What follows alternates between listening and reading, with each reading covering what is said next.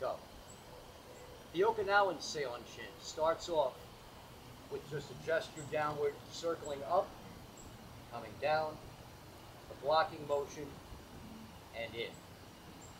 Whereas in Kyokushinkai and in Urban Goju, you're going to see a downward blocking motion.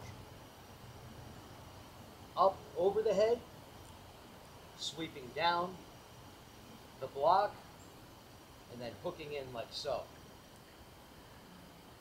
Chuck Merriman, for a while, was known to do his own version of this, and I'm not even sure exactly where he got it, because his catcher's mitt block, or his downward blocking motion, was done inverted. In my opinion, it makes more sense. It's not traditional, but it makes more sense because he would start off and then come like so. So the catcher's mitt block is actually palm heels coming down, down up, and then in. However, once again, classically, it's just a gesture that brings it up, down, blocking, and hooking in.